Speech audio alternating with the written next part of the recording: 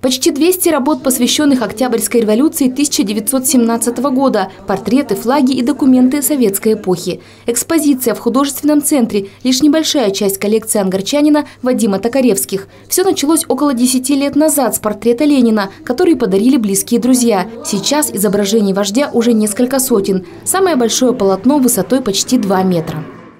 Ностальгия, наверное, по советскому прошлому. Я сам Детство прошло, юность в Советском Союзе. Был пион... Э, октябренком сначала. Помню, как принимали в октябрята, помню, как принимали в пионеры. Даже прекрасно помню, как и в комсомол принимали. Вот, поэтому в основном ностальгия.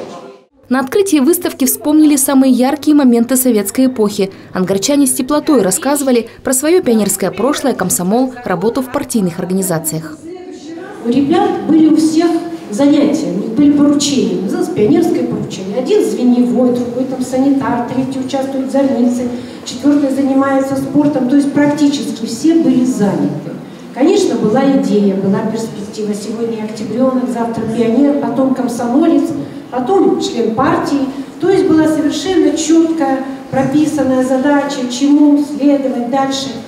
Бюсты выдающихся революционеров, картины, старые открытки, красные флаги заставили вспомнить историю страны всех, кто пришел на открытие выставки. Остальные ангарчане могут познакомиться с частной коллекцией Вадима Токаревских до конца ноября. Наталья Зарубина, Дмитрий Швецов. Местное время.